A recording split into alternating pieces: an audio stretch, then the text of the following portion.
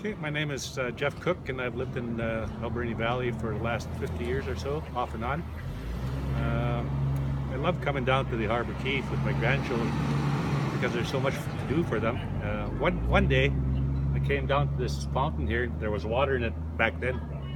Uh, we started talking about the fish here, and I had told them that uh, you know she she loved it here. She liked loved playing, playing with the water, and what I we talked about the fish here, and one of the things that I saw was I said I said look, there's even a dead fish there, and she said no, Grandpa, that's uh, that's a rockfish.